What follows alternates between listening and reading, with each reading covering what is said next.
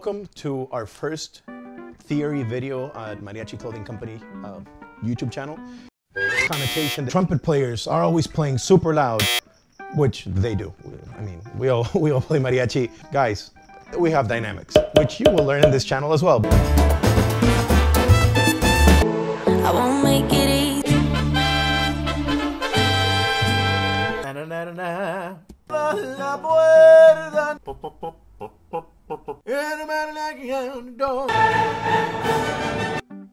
A, B, C, D, E, F, and G. Think about it. In infinity, we have seven symbols, or rather seven names that we use to represent all pitches because this will get way too complex for you after this. Those seven letters correspond to syllables as well, which are La, Si, Do, Re, Mi, Fa, and Sol. You have an infinite amount of notes going up or down in pitch. For the notes that dogs, like dog whistles, that dogs can hear and you can't. Whatever note you play matches its pitch on a piano. In music, we don't use the plus or the minus. We use symbols called the sharp and the flat. We need to learn the basics of music, and that involves reading and writing music, so we must learn about the staff.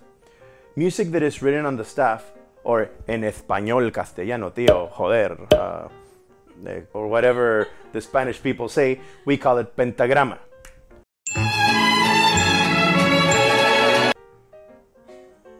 No, not that. Pen- okay, I, I don't know how to do the diabolical star. So, not that pentagrama. It's gonna be this one.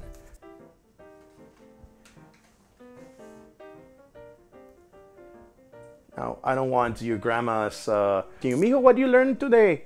What you do with it? You're in quarantine. I learned about the pentagrama. And they're like, pentagrama del diablo. No, no, no, that, not that pentagrama. Music, it's five lines, four spaces. That's a pentagram. The staff uh, or pentagrama is made out of five par parallel horizontal lines and we use it to write music. This gives us five lines, one, two, three, four, five, and four spaces. One, two, three, four. We always number the lines and spaces from the bottom going up. If I were to ask you what note this is, and you answer G, you would be dead wrong and you should be ashamed of yourself because you are incorrect. Because we don't know the staff. Exactly, because we don't know which clef we are going to, yes, clef. We don't know which clef goes there. First, we need to learn the clefs. And now, erasing previous knowledge, you don't erase your previous knowledge, you review it and you master it. Don't forget or else. We don't know what note this is until we have something that tells us what these lines mean. We have two clefs or claves in Spanish. I'm like, now I'm trying to, there's a whole point teach you guys English and Spanish and I'm forgetting the Spanish part. Great. So we have two claves or clefs. Clave de sol. Clave de Sol, which is one. Thank you to our, our fine director, our man behind the chair, Tasha from Tasha's Imaginarium. Oh, nice plug right there. So we have a treble clef in English. Treble, not trouble, not uh, trabo, not whatever. Treble, Oh, it's trouble left. treble clef. It might be with one or two Fs. I don't remember. I'm going to leave one F. Uh, and if I'm wrong, I'm just going to add the other F and draw it, you know, in post-production. So that's something we got to do. I'm pretty sure it's one F. So treble clef in Spanish is called clave de sol. Clave de sol nos da una clave. It gives us a clue of where we can find the G on the staff. If you remember the first part of the video, sol is G, G is sol, unless you're a trumpet player, in which case your world makes no sense. So treble clef or clave de sol. Insert Blue's Clues. When we draw the treble clef, we are going to start at line number two. So this is line number two.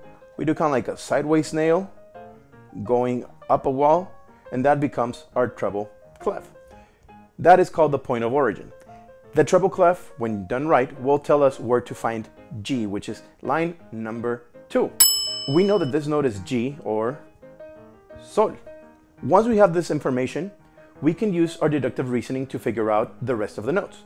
So if I'm on floor G and I go, and now every line and every space, it's its own unique floor. If I'm on floor G and I go down one floor, that becomes floor F or Fa. If I go down another floor, it becomes floor E or floor Mi. Now, what's gonna happen when we run out, you know, A, B, C, D, E, F, G, we run out. What happens if I go up another floor?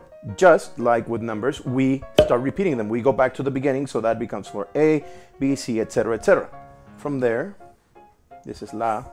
The next line becomes B or C. Then the next one is floor C or Do, not to be confused with C or B.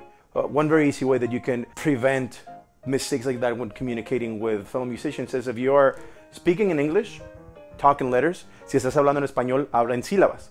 And even another way is if you're saying, oh, uh, play a C for me. You do this and you let them know C as in the letter C, not C as in C. Then from there, the next line becomes D. Again, you're following the alphabet. You can figure this out on your own. I, I mean, if you can't, I would really reconsider my life choice. Then from there, we go to the top line, which is an F or Fa. So there's multiple ways to learn your notes. And all of them usually revolve, usually, usually around lines or spaces. So first in English, the notes are E, G, B, D, F. One very common way that teachers do it is every good boy does fine. Every good boy deserves fudge. Now, if you want to practice at home and you don't have the paper, you have five fingers. Every good boy deserves fudge. Every good boy does fine. Bam. So just start doing this and naming your notes. This is D. This is B. Now, in Spanish, there's a really cool one, which it's mi, sol, si, re, fa.